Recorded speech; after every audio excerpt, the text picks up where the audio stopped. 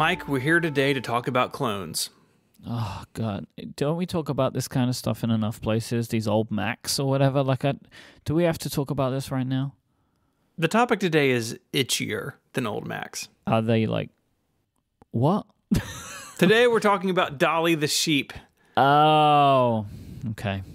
I see. I, I kind of yeah, wool itchy. Yeah, I get it. Mm-hmm. Sure. Not my best mm-hmm. Opening I've ever written. Nope. In hindsight, I do. But do you remember Dolly uh, in the news. Like I remember this. I have a memory of this. Oh yeah, uh, I'm, I'm, glad that we're talking about this because it happened much closer to you than it did to me. I was mm-hmm. like 11 in 1997 when Dolly was made known to the world, mm-hmm. but I remember it being all over the news. Parents talking about it, people talking about it. It was a big deal. It was a big deal. So let's get into the story. Dolly was a female Finnish Dorset sheep and the first mammal cloned from an adult somatic cell. These cells are present in all multicellular organisms and have been at the heart of a lot of cloning research. This gets pretty deep pretty quickly and way over our pay grade, but the important thing to know is that Dolly's genetic makeup came from one of these cells harvested from another sheep. It's important to know that Dolly was not the first animal to be cloned, but she's important, and you highlighted this, is that she was the first mammal to be cloned from an adult cell, proving that animals could be born as an exact copy of their parent, even if that parent was an adult. Dolly was cloned by scientists at the Roslin Institute at the University of Edinburgh. This research institution has been around since 1917 with a focus on animal genetics and breeding research. Dolly was born in July of 1996, along with six other cloned sheep, but like we said, she was the only one cloned using genetic material from an adult. Her classmates, on the other hand, were made from embryonic cells. The, the genetic material was harvested from another sheep's mammary gland cell, and it was the 90s, and so the team named her Dolly after Dolly Parton. Not the classiest move. What? What? Why? Came from the sheep's mammary gland. Dolly Parton. Oh, really? Is that why? Yeah, not good. Oh, come on. Not good. I, I, didn't I didn't attach those two things together in my brain. Oh boy. The process in which Dolly was created is rather fascinating. In a way, Dolly has three moms. One provided the egg, another the DNA, and a third carried the cloned embryo to term. The nucleus of the unfertilized egg cell was removed and replaced with the nucleus of a cell from the donor. That was then stimulated by electricity to start dividing and placed into the surrogate mother. On February 22, 1997, the Roslin Institute announced the existence of Dolly to widespread media attention. Her announcement was timed with the release of a scientific paper describing the process used to create her. This sparked huge international debate about the benefits, dangers, and even the ethics of cloning, a debate that is still alive and well in corners of the world today, despite cloning's rapid spread after this discovery. Rather than me asking you the natural question of what do you think, how about we take a break instead? okay. this episode of Ungeniused is brought to you by Squarespace. Squarespace is the all in one platform for building your brand and growing your business online. You can stand out with a beautiful website engage with your audience, and sell anything, Squarespace has got you covered for all of it. One of my favorite parts about Squarespace is their built in SEO tools. Look, this stuff's complicated and confusing, but Squarespace makes it really easy to figure out what's going on. They have a suite of integrated features and useful guides to help, to help you maximize prominence among search results.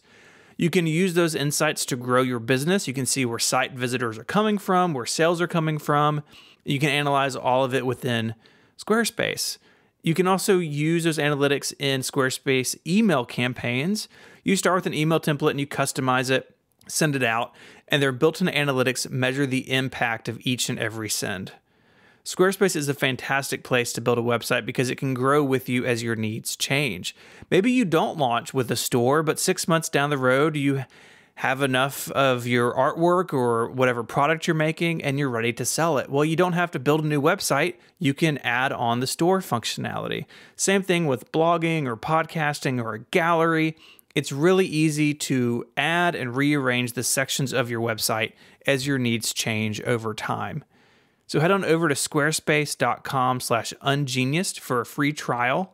There is no credit card required to sign up.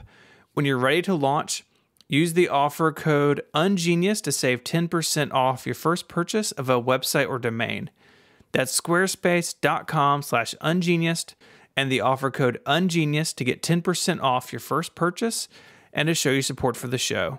Our thanks to Squarespace for supporting Ungeniused and Relay FM. Dolly lived her entire life at the Roslin Institute. She was bred with a ram and gave birth to six lambs in total Bonnie, Sally, Rosie, Lucy, Darcy, and Cotton. Cotton's the best name.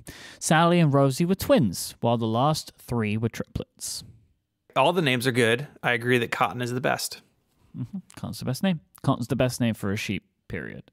By the way, as we've been talking about a lot in this episode, I don't like that. Like, what is that when it's like the word sheep is both the singular and the plural? Oh, yeah. It's weird, right? I don't like it. I wish that like they like one was called like a shep and like as a group they were called sheep. One sheep. I don't know why, but two like, sheep. When saying one sheep aloud, like I don't like it. Like I don't like saying it. It's weird. That's weird. Dolly's genetic material was then also used for future clones. As of July 2016, four sheep, Daisy, Debbie, Diana, and Denise, were alive and genetically identical to Dolly. That's weird, right? Mm-hmm. It is Like- weird. Are they cl- are they also a clone of the original? Ooh. You know what I mean? Like we're in the sheep of Theseus here. You know what I mean? That's actually a way better joke than I thought it was going to be. I didn't. That's even- good. It's good, right? It's really good because sheep and ship sound the same. Mm-hmm. A year after her birth, DNA tests done on Dolly showed signs of premature aging. It is thought that this was because she was cloned from an adult, effectively making her older than her actual age. That'll really put your mind in knots. Uh, this oddity did not seem to cause any health problems for Dolly, thankfully. And later research has shown that cloning does not result in widespread disease linked to age. That is so weird. It's mm-hmm. So she kind of became an adult faster. well, it's like you it's like you start, you know, with like plus six years on your age, right? Because you are a newborn, but your DNA is already six years old. If you know the adult was six years old, That is so weird. yeah, it's very strange. In. September 2000, Dolly tested positive for JSRV. This is a virus that can cause lung cancer in sheep. Several animals were infected at the Roslin Institute in this breakout. This can be common in sheep that are kept indoors, as Dolly was, and the Institute had received threats from those who thought cloning was unethical and dangerous. This did nothing to help that. Some animals died during that outbreak, but Dolly recovered and was diagnosed with arthritis the next year. It was managed with medication until Dolly started coughing in early 2003. A CT scan showed a tumor in her lungs, possibly because of the JSRV, and she was euthanized on February 14th of that year. That's pretty sad. It is sad. The Roslin Institute donated her body to the National Museum of Scotland, where she has been a very popular exhibit for many years. In the years since, this method of cloning has been successful in pigs, deer, horses, and bulls, and has become more efficient. Back in 96, when Dolly came about, she was the only lamb to survive out of 277 attempts. It's a very particular number. Science is very specific. In 2014, scientists in China reported they had reached a 70 to 80% success rate in cloning pigs. And two years later, a Korean company announced it was producing 500 cloned embryos a day. When I first read this, I was halfway through the sentence, I freaked out. but, but, right? It's like a Korean company's producing 500 pigs a day, but no, no, it's not doing that. it's a lot of pigs. Research has been done in resurrecting extinct species via cloning. I don't like If this. the, if you have the DNA laying around, I mean, this is basically the plot of Jurassic Park. Exactly. This is why I don't like this. In 2000, if this is successful, someone will try to make a T Rex, you know? someone's going to get eaten while sitting on the toilet. That's all I'm going to say. In 2009, a research group based in Spain attempted to clone an extinct species of wild mountain goat, but unfortunately, the newborn animal died shortly after birth. They got pretty far, though.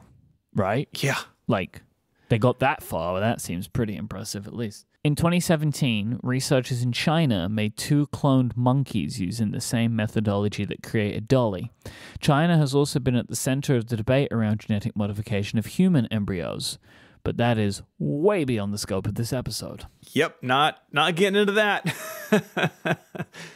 Our thanks to Liam for sending this topic in. If you want to go read more about Dolly, I have a bunch of stuff in the show notes. It's in your podcast player or it's on the web at relay.fm slash ungeniused slash 160.